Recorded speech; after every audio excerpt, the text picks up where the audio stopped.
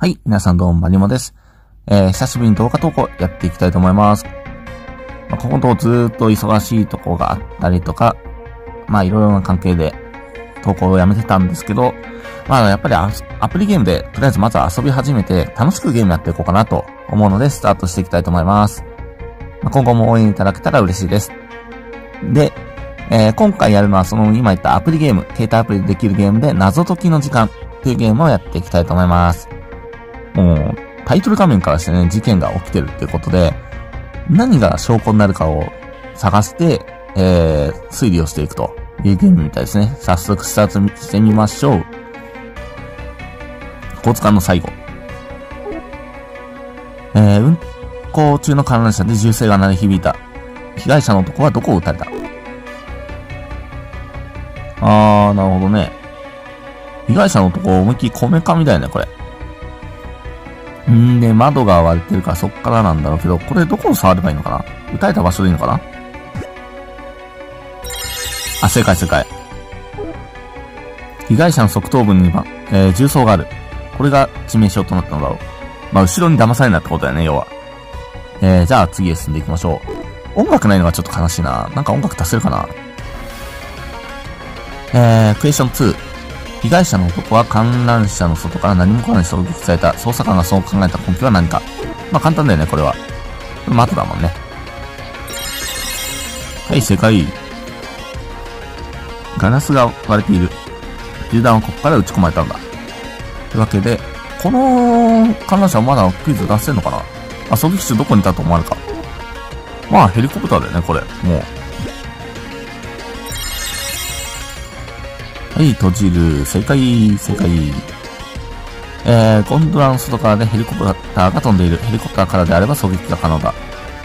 えーと、隣のゴンドラにもあ、新しいじゃない。怪しい男が乗っているが、この男が撃ったとすると、割れたガラスの位置が合わないんで誤りだ。まあ、後ろのベンチがいい感じのね、騙しキャラになってるよねっていう。えー、なぜこの男は狙われたのだろう手がかりは観覧車の中にあるようだ。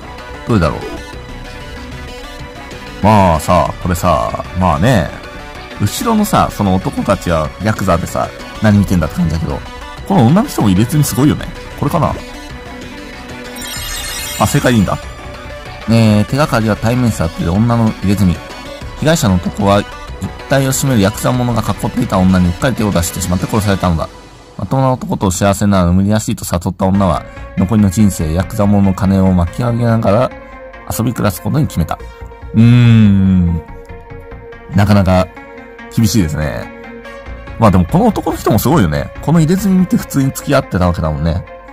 まあ残念な結果になってるみたいですが、あと、こんなゲームなのね。じゃあとりあえず次へ進んでみましょう。彼女は浮気症。えー、就航中の客船に収穫していた女性が刺殺された。客室の床には犯人につながる手がかり、手がかりが残されている。それはどれか。ん？今床って言った？犯人につながる手がかりあー。あ、靴だね。靴の跡だね。閉じる。えー、床に客室の外へと向かう足跡が残っている。足のサイズから男性の可能性が高い。犯人は被害者を刺した後に、あ刺した際か、に、出た液体、液体って、血液をうっかり踏んでしまったことに気づかなかったの。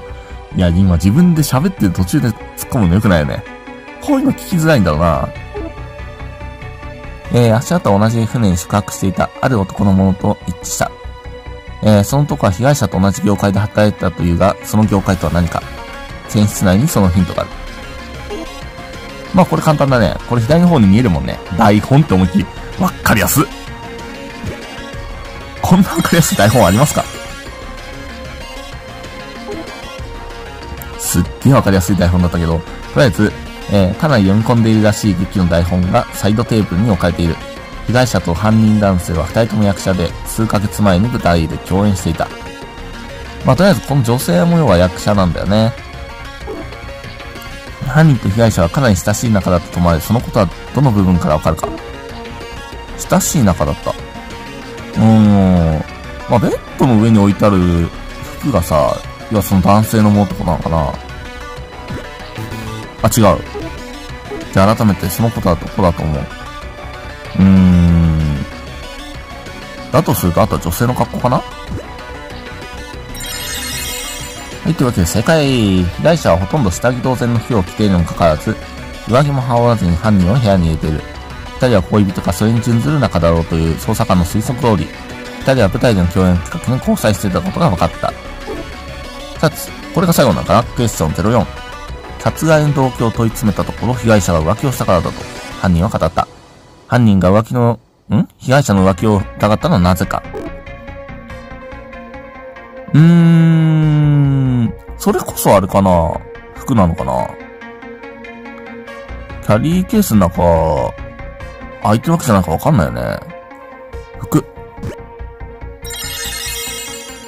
こっちが正解だったね。クエスチョンのね。クエスチョン3の正解ではなかったからね。犯人は少し前から被害者の自宅に男性が出入りしているのを見て浮気を疑っていたが、ベッドに無造作に置かれた男性の服を見て確信し、えー、被害者を刺した。しかしこれが誤解だったことが分かった。被害者が次に演じる役柄は男性の霊人。えー、被害者は役作りのためにたびたび男物の服を着て行動していたのだった。あー、役作りのための服だったんだ。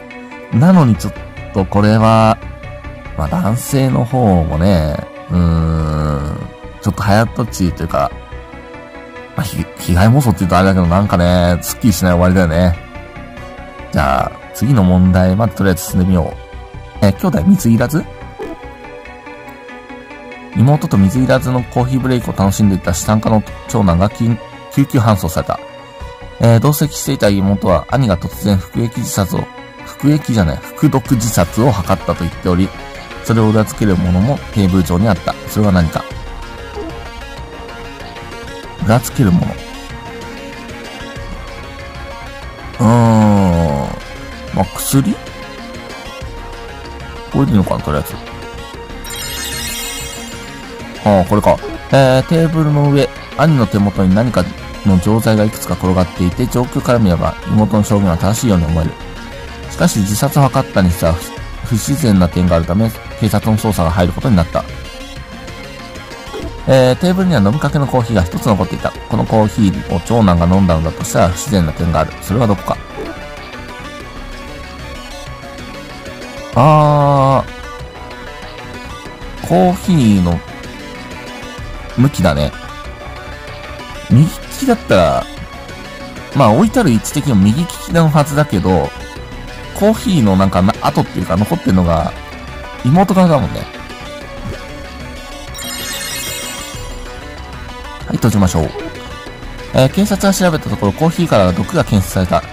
カップには口紅の跡がついているので少なくとも一度は妹もこのカップに口をつけたはずだ。同じカップがコーヒーを飲んだのになぜ妹は無事で兄は死んでしまったのだろうか。全然気球で関係なかった。推理大失敗。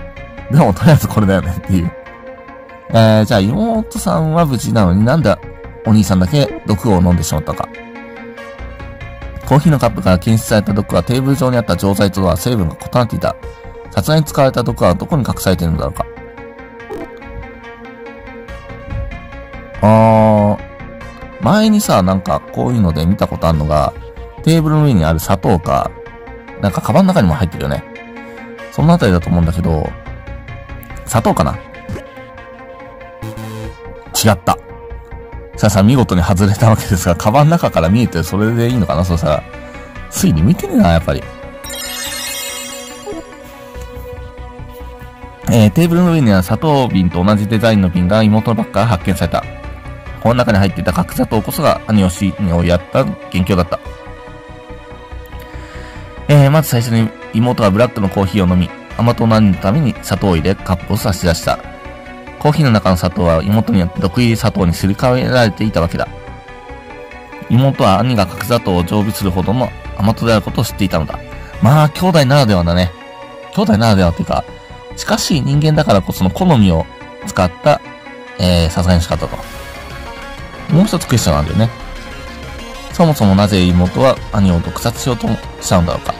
まあ、これさっきからテレビにでっかでかと出てるよね。資産獲得って。まあ、ありがちなあれでしょうね。遺産相続でしょうね。